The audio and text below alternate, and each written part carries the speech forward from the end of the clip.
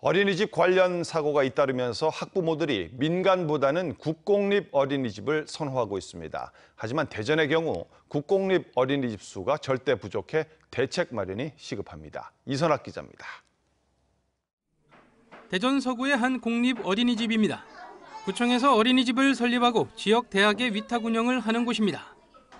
관공서에서 운영하다 보니 학비가 민간 어린이집에 비해 저렴한 데다 보육 서비스의 질도 높다는 인식이 확산되면서 학부모들의 만족도가 높습니다.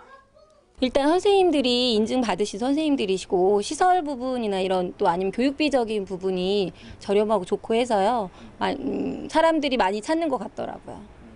하지만 이와 같은 국공립 어린이집에 아이들을 맡기기는 쉽지가 않습니다. 현재 대전 지역 보육 아동 수는 4만 6천여 명에 달하지만 지역의 국공립 어린이집 수는 전체 1,600여 곳 가운데 29곳, 수용 인원은 1,468명으로 수용률이 3.1%에 불과해 전국 최하위로 나타났습니다. 전국 평균 수용률 10.6%에도 크게 못 미치는 수준입니다.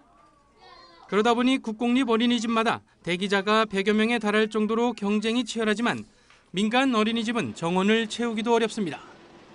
저희 집 근처에는요 민간 어린이집밖에 없어요. 그래서 민간 어린이집에 이제 보내고 있는데요. 물론 국공립 어린이집이 근처에 많이 있다고 하면 국공립 어린이집을 선택하지 않았나. 대전시는 대안으로 우수 인프라를 갖추고 정부에서 인증하는 공공형 어린이집을 현재 80곳에서 더 확충한다는 계획입니다. 하지만 학부모들은 국공립 어린이집 확충이 필요하다는 입장이어서 보다 근본적인 대책이 마련돼야 할 것으로 보입니다. TJB 이선학입니다.